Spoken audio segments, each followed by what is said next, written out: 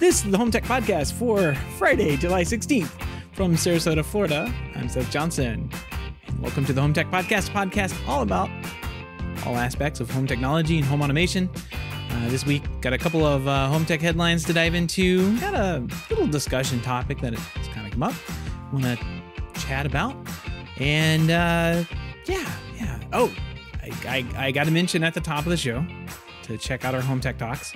I am seriously behind on getting those uh, uploaded, but I have started the process, uh, which involved thanks to Greg, who is who is waving hi over here in the in the chat. I'm just gonna add you in real quick. Hey, there we go. Uh, thanks to Greg. Uh, he's been uh, instrumental in, in me have, being delayed. I'm gonna blame it all on you, Greg, not my procrastination. Uh, but I had to edit a couple of things, and when you have to edit something in video uh, it just takes a lot longer. That's why I don't edit this podcast for video on YouTube, other than maybe like chopping off that long intro I used to have. Um, so yeah, yeah, that's uh, that's what's what's taking me so long. Other than you know just not having the time to to get to it. So I should have those up. I, I've got like four of them done. I think I've got to get in and edit the uh, uh some other things. So uh, there's a couple things here and there not not much, but I just you know while I'm cleaning them up, I'm gonna get them cleaned up and then get them posted. So if you uh, last week we had a really good conversation on how to fail, which was uh, kind of a broad topic that you know how to fail in front of a customer, how to fail with a smart home product, with a smart you know how to use the wrong product, that kind of thing. So um, thought that was a fun fun conversation to have, and I was glad to sit down with everybody and just chat a little bit about that. Uh, tomorrow we've got printer troubleshooting with James. He's going to be covering uh, steps one through twelve, and uh, that's a pretty good inside joke. If you're there in the hub with us every day, you'll find out uh, that you know sometimes printer troubleshooting is a is a thing. It's a thing that we have to we all have to deal with. So, uh, with that, why don't we uh, jump into some home tech headlines? So, big news after more than 30 years with Crestron, including the last eight as president and CEO, Randy Klein will be retiring this year. Uh, Dan Feldstein, uh, current chairman and COO, and the son of Crestron founder George Feldstein, uh, will assume president and CEO position. Randy Klein shared, quote, Later this fall, I will be retiring from this wonderful company that has been my home and second family for more than 30 years as president and CEO, I will I make a lot of decisions every day. This is one of the most difficult decisions I have ever made. The timing is right. Crestron is in a better place than it ever has been.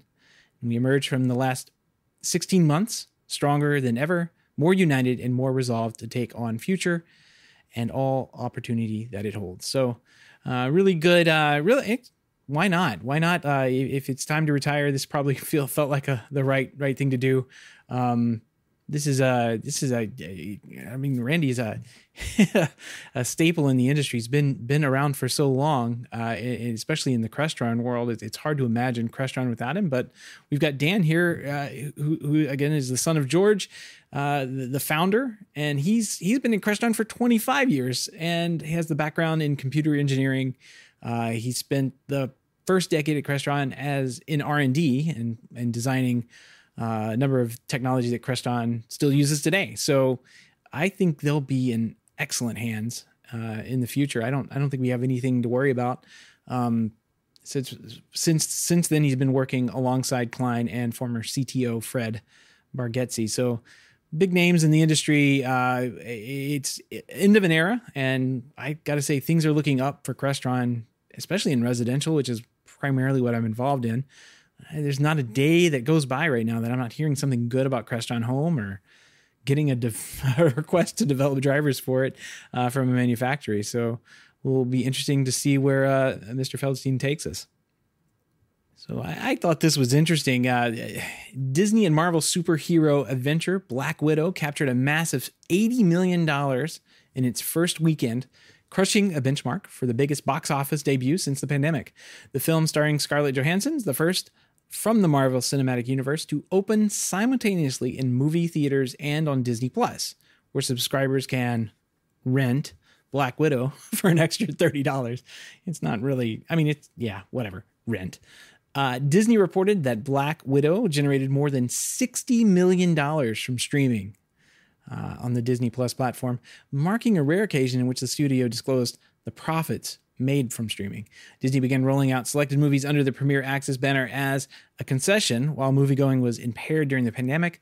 The studio didn't share viewership data for the previous released Cruella and uh, Raya and the Last Dragon, which also premiered in both in theaters and on Disney Plus for that rental fee, right? Uh, but it's unclear if Disney will continue to report on digital rental data for upcoming films or if the studio is just selectively um, picking out information that looks really good. And gosh, $60 million looks amazing, absolutely amazing. Um, I'm gonna say that's that's the end of an era type number, right? Like, I think we're going to see um, we're going to see uh, a, a, a, swift departure from studios uh, worrying too much about what's what theaters think and uh, putting their properties that they're making both on their streaming services that they own and in theaters. Um, so uh, tough times ahead for theaters for sure if they're not getting like exclusive access um, to movies, especially through Disney and, and Marvel branding. I mean that's that's wild. Uh, but to have more than half of the opening box office come from basically people watching in their home on their own TVs is pretty stark. I mean that's that's that's the kind of numbers that uh, if you own a movie theater, you don't want to hear. Um, I, you know, it's probably probably not a, a long there's probably not very much more to say about it. Like if you either love going to the movie theaters or you don't i personally i love going to the movie theaters. I love packing up uh, the family grabbing some popcorn in there and we haven't really been able to do that especially over the last year. So um you know I, but i do i do like this option if I don't want to go to a movie and and, and see um, see a see a movie uh, at a theater, uh, I do like this option of you know being able to watch from home. Doesn't doesn't quite give me the same experience, and um, you know I, it, it's also a lot more expensive. Like the movies we have in here in town for thirty dollars, um, I pretty much can buy two tickets maybe three, and possibly some popcorn and maybe a Coke. Probably not both, but at least it gets me into a movie theater. And you know, it, it, for for thirty dollars, that's that's it's quite a bit. It's a, it's a big reach from a studio's perspective. That's a huge margin that they're going to be making off that thirty dollars, rather than just a piece of what the ticket sales would be. So, yeah, I've got to say this is this is probably going to be the way the wind starts to blow uh, for a lot of movies, especially these blockbuster type movies, where in the past I think studios were hesitant on separating them, divorcing themselves from movie theaters. Uh, I think here in the uh, in the future we're going to see these go out side by side, and uh, the market's going to determine where people want to watch movies. So it'll be interesting. It'll be interesting. So got a quick um, got a quick dis- discussion topic here. Let's switch back out of this. There was a, a um, an article over at CE Pro uh, by Jason Knott that caught my attention, and it was uh, he was complaining about a, a Gizmodo take um, on the smart home industry, and it, the title of it's pretty incendiary, right? It's it says uh, the smart home isn't worth it. I'm not willing to jump through all the hoops needed to make my home barely smarter. And it's uh, by Andrew Lizwinski. Lizwiski, I guess. I don't know. This is the, not the show for names of people, clearly, um, but he wrote uh, he wrote actually a pretty good article, and um, Jason kind of put a counterpoint to that. Jason Knott over at CE Pro kind of put a pretty good counterpoint to that, and you know, kind of said, if you had all these frustrations, why didn't you just hire a pro? You know, like, you know, basically what happened here is he was living in an apartment and had two or three homes that he had to automate. Everything was working well. Everything worked exactly the way he did. When he moved into an actual home, the stuff that worked in the apartment didn't exactly work in the home and it was just a bit overwhelming trying to figure out what to do in every room in the house rather than the two that he had to manage before you can see where all this is going he basically just threw his hands up and uh, and walked away um, let me let me quote from the article here sorry um, a smart home that responds to your every command and automates mundane tasks is a tantalizing dream but the reality is that given the current limitations of technology competing standards and devices that quickly become obsolete, trying to make that dream a reality today just isn't worth all the effort. Um, so uh, Jason Knott actually pointed out the uh, the the car analogy where uh, you know you say you're pretty good at changing that uh changing the oil in what your 1985 Datsun or whatever but now you bought the BMW and you can't you're frustrated and can't figure out what the oil filter is. Yeah it, it's it's take it to a pro you know? Take take it to someone who knows what they're doing uh, to work on the fancier car that you got. And the same thing can be applied to uh, home uh, owning a home you know eh, versus owning an apartment or, or renting and that kind of thing. But aside from that, I don't. I really didn't get the impression that hiring a professional was on the radar of um, Andrew over there at, as Gizmodo, and he was basically trying to take the products that were the wrong products that were working before. They were the wrong products. Let's just say that.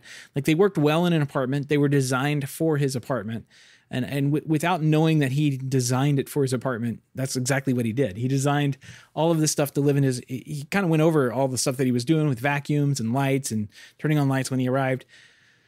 All of that worked well in a two bedroom or two room apartment didn't work well in a four bedroom house with living room dining room and all that good stuff. So he he it, it's it's it's one of those things where you have to have the right products. Um, and it, it, this kind of goes into a second point about um, products becoming obsolete. I think these products became obsolete not because of technology reasons. Like it sounded like he had Philips Hue, which are still widely used. I don't think there's any real issue with those. Um, but these were became obsolete because they were moved out of where they were designed for. Um, and it's kind of been one of those things, like I said, I've been complaining about for years um, that these products are designed for those two bedroom apartments. We don't really have very much in the consumer space that's designed for an entire house. Um, there's a couple exceptions out there. You know, you have the smart thermostats, um, Nest, Ecobee.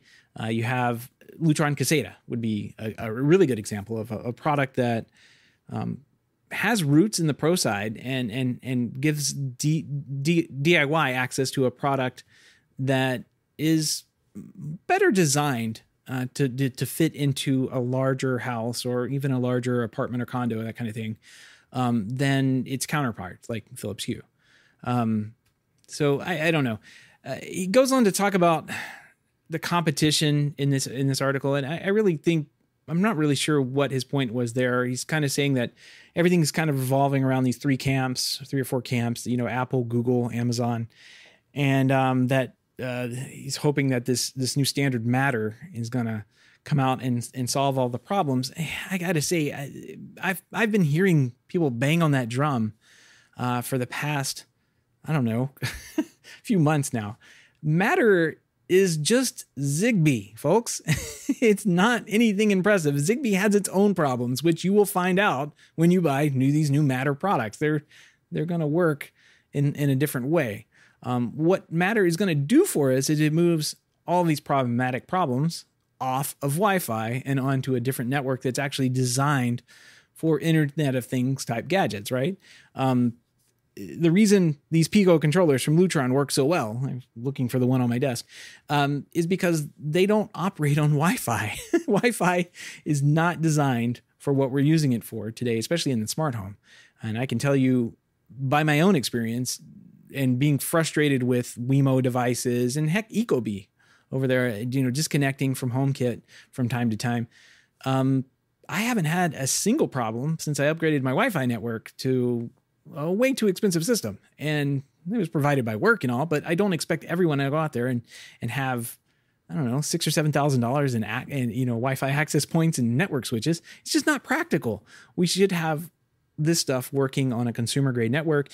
We should have all this stuff working on uh, what you're provided by from maybe your ISP or your cable provider and something like that. Like everything should be built for the lowest common denominator, and you shouldn't have to have enterprise grade Wi-Fi to make a Wemo switch work. It just doesn't make sense.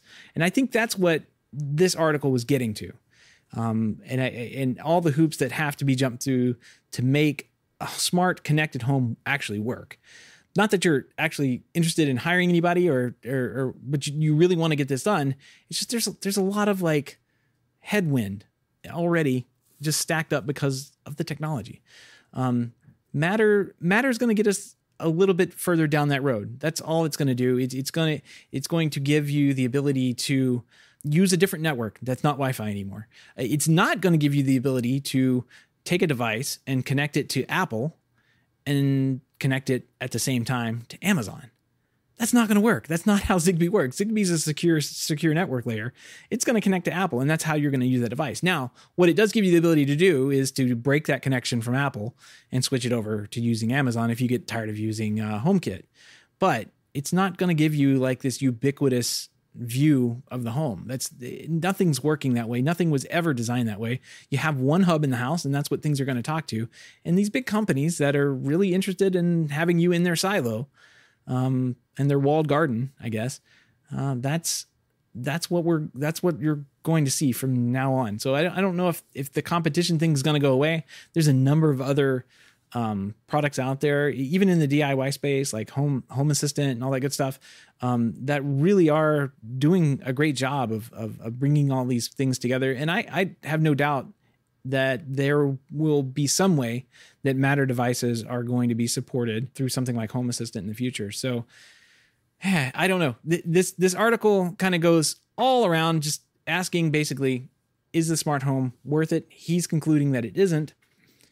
And I don't know. it depends on your level of uh, your your level of of how much headwinds that you want to run into, right? Um, I have cars that I have to work on. I do not like working on cars. Every bone in my body hates working on cars. Um, but I know how to do it. And that almost sticks me in a position sometimes where I just kind of have to grin and bear it. Like, oh, I'm going to have to change that uh, that clutch cylinder. You know, like I know where it is, I know how to find it, I know how to fix it, but I don't ever want to.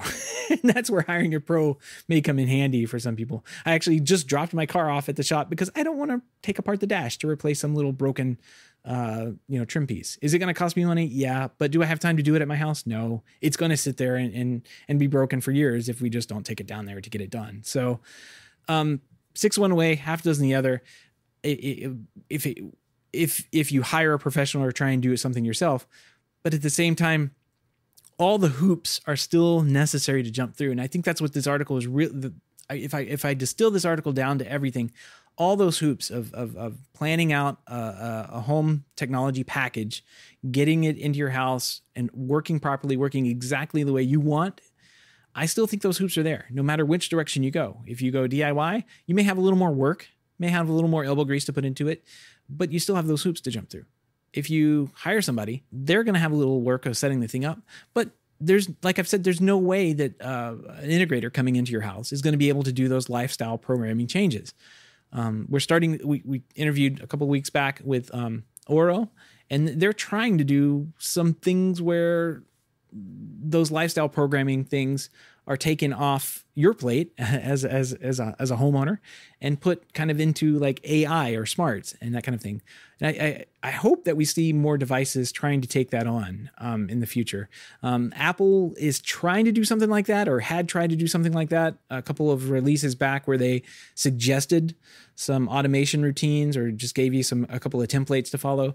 Um, not the best experience, I still don't think, uh, but you know, I, I am hoping in the future we start to see some of these devices that are calling themselves smart actually be smart. And uh, I, I have got to fall on the side of, of the Gizmodo article a little bit more than the CE Pro article on this one. It's it's all the hoops. They're all still there. They're all still painful. And you know, after five years of recording, five six years of recording this show, um, everything still every headwind that you have still exists and um, I think we're gonna. I think we're going to get to a point here shortly that we have a, a, a standard that at least three big companies are excited about. But I don't think that's going to get us all the way there. We still have a ways to go, um, eh, both DIY and on the pro side. So uh, I'm looking forward to it. Hopefully, we'll start seeing these manufacturers step up and uh, going to the next level with their products, not just introducing little devices that can hook up to a network. Yay! I think that's that's that's old hat now, right? Like now we're looking for reliability. Now we're looking for um, something that that goes in and disappears. It's seamless integration that I don't ever have to worry about. Once I set it and I forget it. Um, and I think that's that's the next goal. That should be the next step in, in the evolution of the smart home. So, uh, with that, all the links and topics discussed tonight can be found in our show notes at hometech.fm slash 357. Again, that link is hometech.fm slash 357. And don't forget that you can join us live in the chat room Wednesdays starting sometime between 7 and 7.30 p.m. 7.30 p.m. Eastern. Find out more about how to do that at hometech.fm slash live. And I got a pick of the week here. This is a fun one. I like set design. I like movies. I like TV shows, and nothing brings you into the movie uh, more uh, acting a little bit, I guess, but like the set design, the sound, how the movie looks and feels, and all the little small details that you may notice. Um, that that's that's really I, I really like geeking out on that. Um, it, it sets the tone of the movie more than anything, um, and all the work that can go into building out a set uh, uh on a movie is just amazing to me. Uh, what what what prop masters do uh, to develop something that may uh, may just be may, may just be a little piece of plastic you know that the actor has to hold in their hands. And then like we see it and there's all these digital effects and everything on it. Um, i think all that's really cool. Uh, but all the practical effects uh, things that don't have special effects really around them i, I think you really notice those. Um, one one of uh it's a lot of extra work uh to to do. And and you start you know you really do notice that in uh in some films. So um like say like Harry Potter uh has all of those like uh, artwork and posters and newspapers and all that was done from a shop called MinaLima uh, over there in the UK. Uh, and if you actually visit the the the studio there in the UK, uh, they have this huge wall of all like all the props and everything that came from these guys, and it's just incredible to sit there and look at. It's like, oh yeah, I saw that in the movie. I did. You saw it in the background somewhere. Like that's that's crazy. Um, so my pick of the week this week is actually uh, a different franchise altogether. Uh, Loki over there with the, the Marvel universe um, has a really incredible uh, set on their show, and it's uh, there, there's a good interview over at The Verge with uh, Kasa Farhanani. Far, Far, see Farahani. There we go. Um, who did all the the work on Loki? I'm sure he had a team as well. And uh, here's a couple quotes. The the con- they had they had a this this area. I don't want to give too much away about this show if you haven't seen it, um, but they have like this bureaucratic organization that exists. And uh, from its quote here, um, in our fiction, the TVA is a bureaucratic organization that's probably super well funded or incepted or had been renovated in the post war era. Um, imagine a bureaucracy or an organization that gets a massive infusion of resources at a certain point and then doesn't again for decades.